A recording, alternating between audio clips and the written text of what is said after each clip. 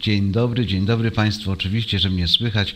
E, Dopóki nie włączyłem Start Broadcasting, nie było mnie słychać. Dziękuję wszystkim tym, którzy dali mi sygnał, że głośność jest dobra. E, Drodzy Państwo, dzięki za tą dziesiątkę.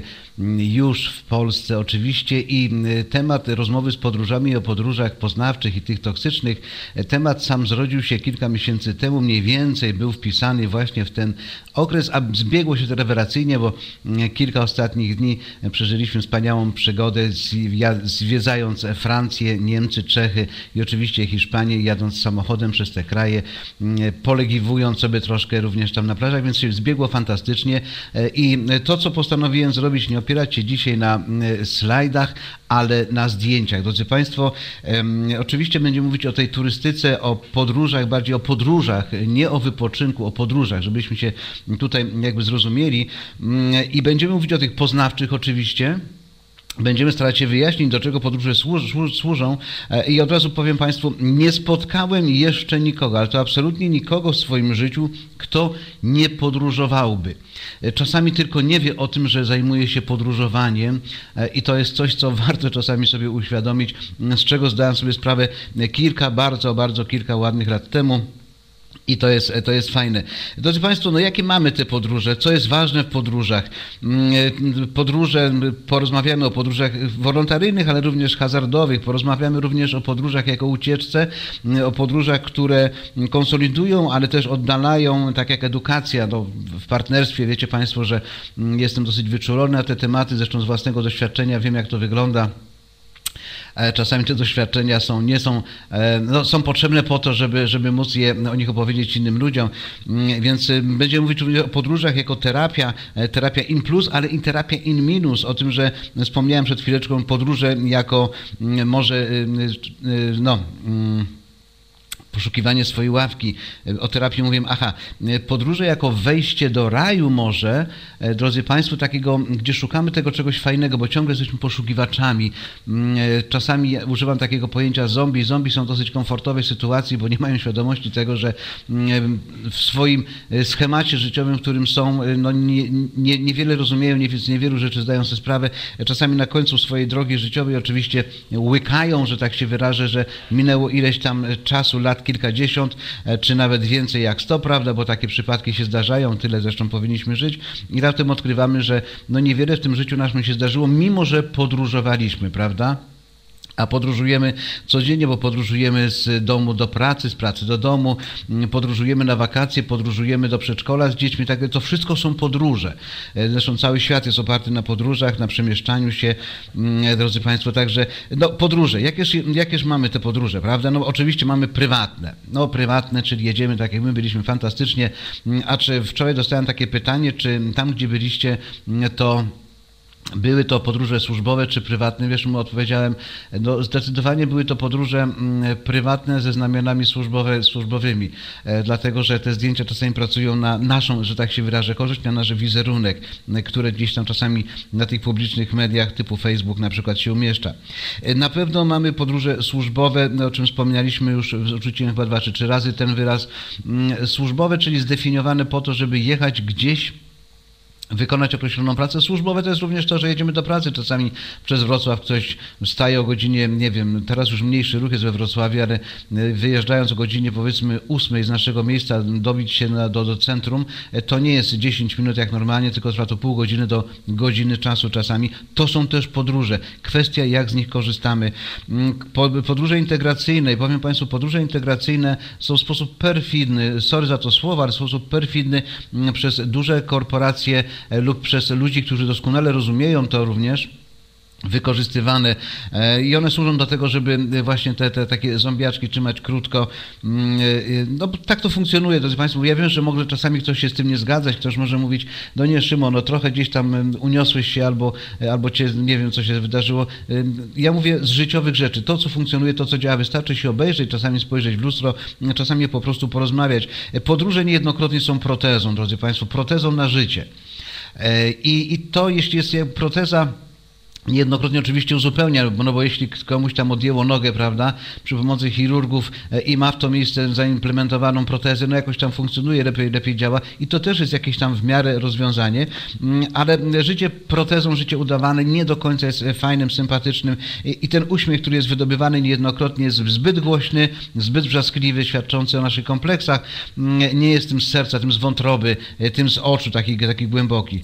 Mm, podróże również są tym czymś, może jeszcze takie bardzo ważne, bardzo istotne na początku. Drodzy Państwo, jedna z najtrudniejszych i najdłuższych podróży, jakie każdy z nas przerabia, a przynajmniej 99,9% to są podróże między umysłem a sercem. To jest podróże, które mają nas zintegrować, nie mylić z podróżami integracyjnymi firmowymi. To, co ma nas zintegrować, zbudować tą pokorę naszą, ten szacunek do siebie, miłość do siebie, to jest najdłuższa podróż między umysłem a sercem e, i vice versa. I podróże w głąb siebie są najtrudniejsze nie dlatego, że one są skomplikowane, one są bardzo proste, one są oczywiste. Ważne, żeby z tego sobie zdać sprawę, że ich po prostu nie realizujemy. E, oczywiście przy pomocy tych tradycyjnych, normalnych podróży e, to nam funkcjonuje. E, dla kogo podróżujemy, drodzy Państwo? No wspominałem, użyłem słowa hazard. Tak, oczywiście również dla hazardu. Wolontaryjnie, żeby swoje sumienia niejednokrotnie wyprostować. Stąd też tutaj ten wolontariazm, wolontariazm, wolontar... Podróże wolontaryjne, czy wolontariazm, no nie wiem, czy ja dobrze po polsku mówię, ma to do siebie, że takim świetnym przykładem jest Botswana w, w Afryce, która zrezygnowała z udawanej pomocy, no i wolontaria, to dziękuję serdecznie. Sławko, zawsze na Ciebie, jeśli chodzi o polszczyznę, można liczyć. Tak to z prawnikami jest. A, prawnik to jest więcej jak prawnik. Sławek to jest potęga. No i drodzy Państwo, tak, wolontariat Basia również dziękuję. A i nauczyciele się odzywają, fajnie. Mm, dla kogo podróżujemy wolontaryjnie, tak jak wspomnieliśmy? Mm, wolontariat ma to do siebie, że Botswana tym, tym przykładem jest takim, gdzie mm, zamknięto się na udawaną protezycz, pro, taką, taką udawaną nieprawdziwą pomoc, e, tą taka, która jest publicznie nagłośniona, ale efektów nigdy nie dała, bo jak głodowali w Afryce, to głodują, prawda? No i efekt jest tego taki, że, mm, e, że Botswana powiedziała żadnej pomocy charytatywnej z zewnątrz e, i dali ludziom szansę i to jest naj, najbogatszy kraj od iluś tam lat w Afryce, dzięki temu, że zrezygnowali z udawanej pomocy charytatywnej, która ładnie wygląda dla publiki, po to, żeby, że tak się wyrażę, produkować kolejne zombiaki gdzieś na świecie. Mm, dla, dla, kogo podróżujemy? Dlaczego podróżujemy? Y, otóż dla szpanu podróżujemy, prawda? Po to, żeby podkreślić, jak fantastycznie mamy ciała, jak fantastycznie Wyglądamy gdzieś pod palmą e, i to jest ok, drodzy Państwo. Czasami jest nie ok, ale no, tak jest świat skonstruowany. Podróżujemy oczywiście dla sąsiadów, podróżujemy dla rodziny, czasami zapominając, żeby wypoczywać, a zajmujemy się wysyłaniem SMS-ów, żeby rodzinę troszkę tam powkurzać, bo oni nas wkurzają, prawda? I tak vice versa. Ale jeśli wywołuje to radosny uśmiech, to też jest ok. Podróżujemy czasami, drodzy Państwo, dla siebie. I powiem Państwu, mówię czasami, dlatego że większość ludzi nie podróżuje dla siebie. Większość ludzi niestety, e, to się tyczy również również mnie, zanim te pewne elementy załapałem, że podróżujemy właśnie tego dla kogoś, e, dla, dla właściwie niezdefiniowani jesteśmy, jeśli chodzi o podróże. Mówimy, uwielbiamy podróże, ale na pytanie dlaczego? No mówimy, bo wypoczynek, ale gdzie masz tam wypoczynek? No, e, obserwowałem w tej chwili mm, e, w Marina Donek byliśmy ludzi, fantastycznie się bawili, fantastycznie, no, szczególnie nasza ekipa była taką dziwną, gdzie mm, można się bawić bez alkoholu, rewelacyjnie, drodzy Państwo, i to jest fantastyczne i to, było, to była podróż dla siebie, żeby się fajnie pobawić, fantastycznie. Do Drodzy Państwo, powiem Państwu, że podróżowanie to jest również dla trzymania się za ręce. Jeśli dwoje ludzi podróżuje, ma to coś fajnego dla siebie i chciały podróżować razem, bardzo ważne, drodzy Państwo, żeby jeśli jesteście w układach partnerskich, małżeńskich, żebyście podróżowali razem, e, dlatego że e, podróżowanie osobne to jak z tak edukacją osobną, że jedno, jeśli edukuje się bardzo, bardzo, bardzo, bardzo, wspominałem przed chwileczką o tym, a drugie niespecjalnie, powstaje tak duża różnica potencjałów, że konsekwencje są takie, że dwoje ludzi nawet nie potrafi milczeć obok siebie, że o rozmowie nie wspomnę, a o wspólnym, śniadaniu zupełnie. E, oczywiście Podróżujemy dla różnicy, dla zróżnicowania swojego życia. No, drodzy Państwo, podróżujemy również dlatego, aby ukryć się, ukryć siebie, żeby to wiąże się w dużym stopniu z tą protezą. Oczywiście podróżujemy dlaczego? Po to, żeby zrealizować się zakupowo, na przykład zrobić fajnych parę zdjęć w dobrych sklepach, prawda? Uciekamy, drodzy Państwo. Podróże są również absolutnie ucieczką, ucieczką, ucieczką, jeszcze raz ucieczką. I teraz przejdziemy sobie przez e, kilka fantastycznych zdjęć i przy tych zdjęciach przy okazji będę używał różnych komentarzy. komentarzy.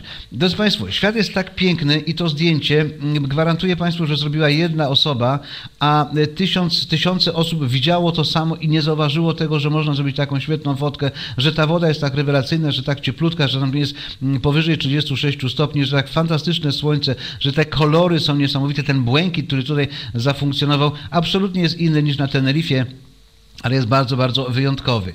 I to, czego trzeba szukać, to w tych podróżach czasami warto usiąść tego i spowodować przy takiej, takim widoku, usiąść w tej wodzie i spowodować podróż w głąb siebie, podróż między umysłem a sercem, y, bo to jest, podkreślam, klucz sprawy. Zdecydowanie. Drodzy Państwo, i to, czego szukać trzeba zawsze, Znaleźć tą swoją ławeczkę. Znaleźć tą swoją ławeczkę w podróżach, na której usiądziesz chociażby na 5 minut. Wyłączysz się poobserwujesz, zobaczysz, że może gdzieś jakiś pelikan chodzi, jakiś wróbelek, jakiś ptaszek, ludzie idą uśmiechnięci, ktoś idzie, trzyma się za ręce. Bardzo dużo jest obecnie mm, par, które się nie wstydzą tego, że trzymają się za rączki. Młode dzieciaczki e, wstydzą się niejednokrotnie, mm, ale powiem wam, że cudowne, kiedy się e, my trzymamy za, za, rącz, za ręce, kiedy widzimy nawet ludzi po 70, 89 lat, jak tak o tych lat w jednej ręce laseczka, w drugiej trzymają się za rączkę i idą, ale również bardzo dużo młodych ludzi, 20, 25, 30 30-letnich idą, trzymają się za ręce i niejednokrotnie intuicyjnie czują, że jest ławeczka, na której trzeba usiąść, na, na tej ławeczce pomedytować, wyłączyć się po prostu, bo tych ławeczek bardzo różnych jest bardzo wiele. Proszę spojrzeć, jaka ta jest miła, sympatyczna i mimo tego, że jest z kamienistych tych elementów zbudowana, ona sama w sobie ma to ciepło, szczególnie jeśli dwoje ludzi na tej ławeczce usiądzie, prawda? E, wspomnieliśmy o pracy, drodzy Państwo, tak, podróże. Tutaj w tydzień temu rozmawiając na, na webinarze właśnie z tego miejsca, fakt, że przerywało, fakt, że gdzieś tam coś, coś ten internet raz był, raz nie ma. Drodzy Państwo, i to nie ma znaczenia. Ważne ważne, żeby w którymś momencie odkryć, że można również w ten sposób znaleźć pół godziny gdzieś, gdziekolwiek na świecie jesteś, bo podróże kształcą, ale podróże również służą do tego, żeby innych można było kształcić. Drodzy Państwo, po to również, żeby uśmiechnąć się razem, pokazać ten znak wiem. Kiedy jedziemy, zobaczcie, tam z tyłu, drodzy Państwo, kiedy jechaliśmy, są remontowane. To akurat głównie we Francji remontuje się stacje benzynowe. Jakoś tak mieliśmy, że czasami toaletę to gdzieś tam się szukało na zewnątrz, mimo że piękna, wspaniała stacja, to tak było. Chodzi o to, żeby, drodzy Państwo, podróżować, może wspólne założyć takie, takie nie wiem, coś, co jest wspólnego w w ubiorze, prawda? E, dlaczego? Dlatego, że to ma konsolidować. Podróże mają konsolidować, nie mają być pozorem, bo pozory nie do końca dobrze nam funkcjonują. I powiem Państwu tak, kiedy 24 sierpnia mieliśmy okazję mm, e, zorganizować duże przedsięwzięcie mm, we Wrocławiu na około 500 osób, to drodzy Państwo wiedziałem jedno, ci wszyscy ludzie to są ludzie, którzy mm, w mniejszym czy większym stopniu zdają sobie z tego sprawę, że podróżują. E, I podkreślam, podróże w tym wymiarze, o którym mówię, w tym bardzo głębokim wymiarze, nie tylko wsiąść w autko, pojechać do Hiszpanii, nie tylko wsiąść w samolot, polecieć do Disneylandów y, na Florydzie oczywiście tak, bo to jest główne, podstawowe jakby skojarzenie w tym wszystkim, ale ci wszyscy ludzie, drodzy Państwo, między innymi tutaj stanęli i słuchali o tym, jak inni podróżują. To jest taka ciekawostka, kiedy z bardzo dużego, dużej części świata 500 osób się zjeżdża, posłuchać innych, jak podróżują, co ma kolejne, kolosalne znaczenie, bo drodzy Państwo, to, co jest bardzo istotne, absolutnie mm, to, y, co trzeba zdefiniować, kluczem do szczęścia niejednokrotnie właśnie są podróże, ale te poznawcze, żeby nie być w tym elemencie mm, toksycznym, niejednokrotnie takim, takim zombiastym. Wybaczcie mi Państwo te pojęcia niektóre, które niejednokrotnie używam, ale pojęcie zombie jest o tyle adekwatne, że bardzo dużo ludzi w tym schemacie, w którym funkcjonuje dzisiaj, w tej gonitwie, nawet nie ma czasu porządnie spojrzeć w lustra, bo drogie panie, to na przykład do was, wy to rozumiecie doskonale, patrzymy w lustro, malujemy się tak naprawdę mm, tutaj swoje brwi, prawda, usteczka wspaniałe i tutaj wiele innych, włosy robimy, prawda, różne tam, mm, każdy włos musi odpowiednio być ustawiony, ale czy my wtedy patrzymy na siebie? My się upiększamy, oczywiście upiększamy się po to, żeby co zrobić, żeby podróżować, wyjść z domu, wsiąść może do samochodu, do tramwaju, pojechać do pracy, pojechać na zakupy, mm, czy gdziekolwiek, ale czy to jest spojrzenie w lustru? Drodzy Państwo, zdecydowanie e, Iza mówi, że jechaliśmy nie tą trasą, tak i Zunia jakoś nam się zdarzyło, że, że nie odwiedziliśmy Ciebie, ale ciągle wiem, że kawę u Ciebie mamy. Drodzy Państwo, kluczem do szczęścia są podróże, mądre podróże, zdefiniowane podróże i te podróże między umysłem a sercem, te, które powodują autentyczną e, integrację mm, w człowieku. Drodzy Państwo, bo mm, również niektórzy myślą, że podróżowanie wiąże się stricte tylko i wyłącznie z pieniędzmi, czy życie nasze wiąże się z pieniędzmi. Element finansowy jest niezwykle istotny, zresztą sama nazwa Akademii, wiem, wiedza, informacja, energia, materia. Pieniądze to jest materia. Pieniądze definiują nam, układają w dużym stopniu życie, służą do podróżowania oczywiście mm, również, ale pieniądze poukładały nam życie. Pieniądze zdefiniowały, że powstały jakieś tam sklepy, prawda? Że y, pieniądze powiedzmy, układają nasze życie w określony sposób i one czasami mają to do siebie, tak jak podróże, że są bardzo budujące, ale w większości ten element y, taki nie najzdrowszy to jest to, że te pieniądze się bardzo często kończą oczywiście przed końcem miesiąca. Jakoś tak czasami to dziwnie wygląda. Drodzy Państwo, dla przypomnienia również jak wyglądała Ela, kiedy rozmawiała tutaj, prowadząc krótką rozmowę webinarową. Tak, tak to może wyglądać. To dla przypomnienia uwielbiam ze zresztą y, patrzeć na erę, kiedy mm, coś tak fantastycznego się dzieje. Drodzy Państwo, ale podróże jeszcze jedną rzecz dają. Pamiętajcie o trzymaniu się za ręce. I to, co y, zdecydowałem, aby pokazać głównie nasze zdjęcia dlatego że nie zostaną upoważnione do tego, żeby umieszczać tutaj jakiekolwiek inne, mm, ale spójrzcie, drodzy Państwo, jak jest skonstruowany świat. Tu mamy, to jest zdjęcie z brzegu robione przez naszą przyjaciółkę Danusię. Mm, I teraz to, co robimy, cieszymy się oczywiście. Ta radość w moim przypadku kosztowała mnie dużo, dlatego że ta temperatura wody nie miała 36,6, a na poziomie 26, co dla mnie już jest stresem termicznym. No ale Ena tutaj mówi, wezmę cię chłopczyku za rączkę i chodź, pójdziemy się wykąpać, więc poszliśmy. I to, co jest niesamowite, to mm, ta fala, która w życiu tam jest, gdzieś w plecy nas uderza. I to jest, to jest tak jak mm, podróżujemy lub też nie podróżujemy, albo może jeszcze nie mamy świadomości, że podróżujemy, a życie mówi coś takiego, że idziesz, machasz do kogoś rączką, a raptem ni stąd, ni zowąd może się okazać, że trasa, że fala uderza cię w plecy e, i musisz być przygotowany na to, bo możesz się zachłysnąć. E, czyli co trzeba robić? No trzeba mieć oczy wokół, wokół, mm, wokół siebie. Drodzy Państwo, trzeba zdać sobie sprawę z tego, że fale są. E, fale są i one mogą nas w plecy uderzyć, ale mogą, mogą być tak fantastyczne, jak za chwileczkę na przykład ta fala, która zrobiła rewelacyjną rzecz. Spójrzcie, jak to fantastycznie mm, wygląda, kiedy już wreszcie raz zdecydowała, już chłopczyk może iść się kąpać samodzielnie. W końcu chłopczyk poszedł i to, co było niesamowite, właśnie ta fala, ale byłem przygotowany na tą falę, bo tak to jest w życiu, trzeba być przygotowanym i wtedy ta fala daje nam radość, asum do tego, że między umysłem a sercem dzieje się coś fajnego, rewelacyjnego, a nie podtapia nas, zakrztusza, bo powiem Państwu, zanim to sam zrozumiałem przy tej wodzie, to no, z litry tej wody słonej wypiłem, więc nie musiałem sobie e, płukania robić specjalnie solanką wykonywaną przeze mnie. Mm, e, spójrzcie Państwo dalej, oczywiście Również Ela fantastycznie rozumiała doskonale, jak działają fale, ta radość w tym wszystkim e, niesamowita, bo tak to funkcjonuje.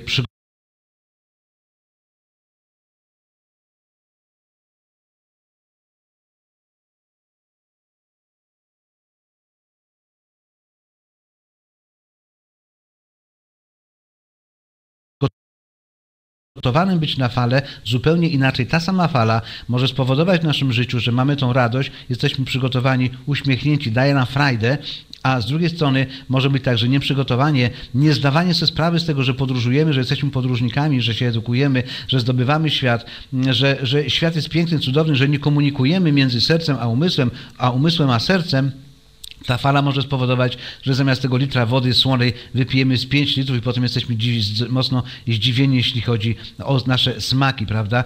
Drodzy Państwo, to co mm, trzeba zauważyć również, uwielbiałem w podróżach coś takiego, mm, kiedy, kiedy jadę, jest, mm, wschodzi słońce i kiedy wracaliśmy tutaj, Ela mówi, wow, pierwszy raz widzę tak fantastyczne niebo. Nie wiem, czy zwróciliście uwagę, ale to zdjęcie pokazuje jakby, że tam, daleko przed nami, te wspaniałe kolorowe chmury, nie wiem, jak zdefiniować e, ten kolor. Wiem tylko tyle, że tam są wspaniałe oczy. One patrzą lewe oczko, prawe, lewe jest wyżej, prawe niżej. Wspaniała droga, kiedy jedziemy do tej wspaniałej twarzy, do tych wspaniałych kolorów, do tego wspaniale stającego, stającego słońca, e, bo tak wygląda życie. Trzeba zobaczyć tam gdzieś te oczy, zintegrować się.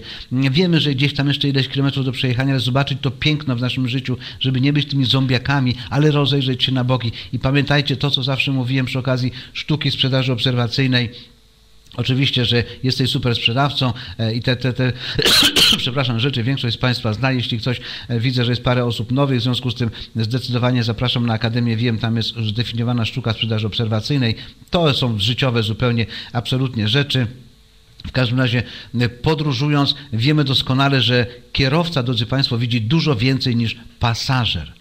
Pamiętajcie, kierowca dużo więcej widzi niż pasażer, więc kiedy podróżujesz i nie chodzi tylko fizycznie, że musisz wyrywać kierownicę komuś, mm, kto obok ciebie e, tą kierownicę trzyma i jedzie samochodem, e, nie tylko o to chodzi, ale twoje życie powinno być wysterowane, wykierowane, ale przez ciebie, wiesz, żeby nie wpaść ten element zombiactwa takiego, mm, żebyś to ty miał świadomość tego, że nawet jeśli jesteś w jakimś schemacie, w jakimś takim wahadle mm, życiowym, e, realizujesz czyjeś pomysły, to w tych tych czyichś pomysłach również są Twoje realizowane, bo masz na to wpływ. Drodzy Państwo, pamiętajcie, wspominałem o rękach. To, co jest cudowne, podróżować po to, żeby trzymać się za ręce i może pokazać ten fantastyczny znak. Wiem, tak, bo nie, nie ujęłem tutaj zdjęcia świetnego, które zrobiliśmy również po drodze, kiedy już w Polsce zobaczyliśmy, jak fantastyczna jest piękna, wtedy jeszcze czeska, a potem przekroczyliśmy granicę e, polska jesień, mm, bo podróże podkreślam, a nie ma, mam tutaj fotkę, drodzy Państwo, jest jesień oczywiście umieszczona,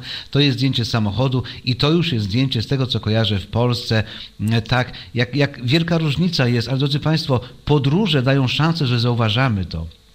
Kiedy e, zacząłem podróżować rozmowami z ludźmi, edukacją, zajmuję się właściwie od szkoły średniej rozmowami, jak wspominałem, ale podróżowanie takie na większą skalę, poza tym praca, dom, dom, praca, jeszcze do tego zakupy, tak zwany trójkąt życia, to też na Akademii wiem, takie szkolenie mamy, o tym mówimy, to powiem Państwu, że w latach 90., kiedy zacząłem podróżować, odkryłem, że obok mojego mieszkania, wtedy mieszkałem w Drezdenku, taka miejscowość Lubuskiem, Obok mojego mieszkania na drugim piętrze rosną wspaniałe drzewa, są wspaniałe rośliny, są wspaniałe ptaki, ale musiałem wyjechać do kilku krajów, do Ameryki, żeby przyjechać i odkryć to, zobaczyć co różnice, drodzy Państwo, podróże służą do tego, żeby między innymi mm, podróżujemy dla różnicy, dla zweryfikowania różnych obrazów na świecie, stwierdzenia, że wokół nas też jest fajnie, pięknie, fantastycznie. No to, co na przykład niektórzy uważają, że w Polsce ciągle drogi nie są najlepsze, fakt, że są jeszcze nie najlepsze, ale jest dużo się zmieniło więc wtedy odsyłam ewidentnie jedź do Indii, pojeździ po Indiach, troszkę po tak zwanych autostradach, wrócisz, będziesz asfalt polski całował, e, klęczał bardziej niż papież Jan Paweł II. Drodzy Państwo, bo to, co mogę Państwu zagwarantować, podróżując zawsze, ale to zawsze znajdziemy ławkę. I te ławki są, one są piękne, wspaniałe. To jest kolejna właśnie z Marina Dor zrobione to zdjęcie, ale żeby wiedzieć, że te ławeczki są, są po co pokazuję te ławki, żeby usiąść, usiąść, usiąść. Tak jak bodajże Kochanecki, Kochanecki mówił o tym drzewem pod gruszą, prawda? Usiąść wędrowcze pod mym drzewem czy konarem, już teraz nie pamiętam. Drodzy Państwo, podróże oczywiście mogą być również hazardowe. Tu udokumentowanie Ela z Danusią trzymają po jednym bodajże chyba euro i postanowiły zainwestować w tą maszynę. Wybaczcie Państwo, tylko łyknę sobie troszkę wody. O, dziękuję za cierpliwość. Tak, oczywiście zainwestowały, maszyna się ucieszyła, skonsumowała i pojechaliśmy dalej. No bo tak to niejednokrotnie właśnie wygląda. Drodzy Państwo, dla wielu ludzi mm, pod lipą Jan Kochanowski, dziękuję serdecznie, no tak to z profesorami jest, że wiedzą. Drodzy Państwo, niektórzy podróżują, to jest zdjęcie z Woodstocku. A Zdjęcie z Woodstocku jestem dużego uznania, podziwu dla organizacji, którą stworzył mm, e, pan Owsiak.